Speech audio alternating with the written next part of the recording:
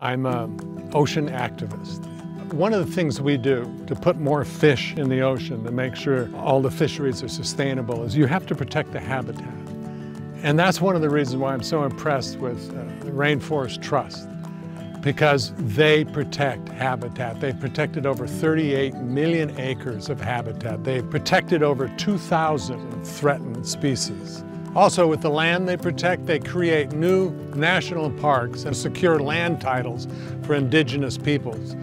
We all care, but it's overwhelming the amount of stuff that comes at us. So find an organization, support them so that you can be a, an activist in your crazy busy life. 100% of the money you give goes directly to saving habitat. You want to make a difference in the world? Make a donation to, to Rainforest Trust.